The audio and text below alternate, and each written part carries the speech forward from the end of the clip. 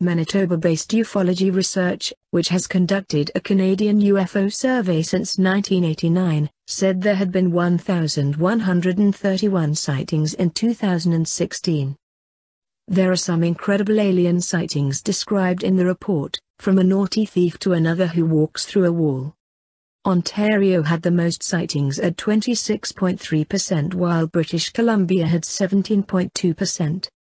Quebec had the most UFO reports in 2016 at 38.5%. The report says, this is because Quebec currently has several civilian UFO groups, all with active public awareness campaigns and thus receiving substantial media attention. And it says the high number of sightings is significant, adding, this data clearly contradicts comments by those who would assert that UFOs are a passing fad or that UFO sightings are decreasing in number. It's the alien sightings that make the most interesting reading.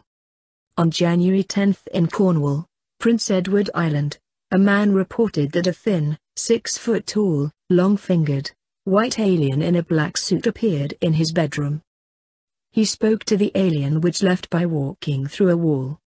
Meanwhile in Quebec, on the same night, a person was transported in a flash of white light to a bathtub.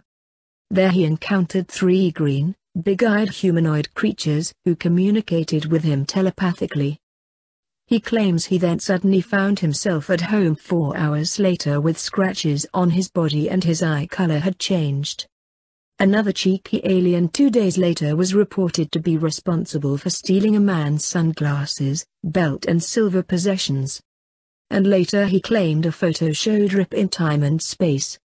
The report ends by saying, close and